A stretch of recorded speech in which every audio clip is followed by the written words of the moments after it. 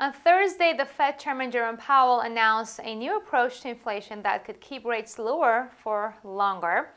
Initial weekly U.S. jobless claims totaled just over 1 million, slightly down from the previous week. And we found out that the second quarter GDP plunged by worst ever 31.7% as the economy went into lockdown. Switzerland's GDP fell by negative 8.2% in the second quarter, and Japanese banks' credit costs could hit a crisis level all thanks to the pandemic. Welcome to the Tickmill Update. I'm Kenna Daniel, the founder of the Investiva movement. Make sure to subscribe to the Tickmill YouTube channel and support us by liking and sharing this video with your Forex trading friends. On Friday, we'll be eyeing Canada's GDP and the US PCE price index for July.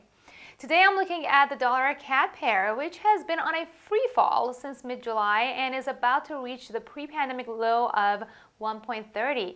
If things don't start to look brighter, we could see the pair heading towards the two and a half year low of 1.26. How low do you think the pair could go before seeing a correction? Head over to the comment section and let me know. Of course, trading in the financial markets involves a risk of loss and you should only trade the money that you can afford to lose. If you like this video, give it a thumbs up and subscribe to the Tickmill YouTube channel. I'll get back to you with more updates next week.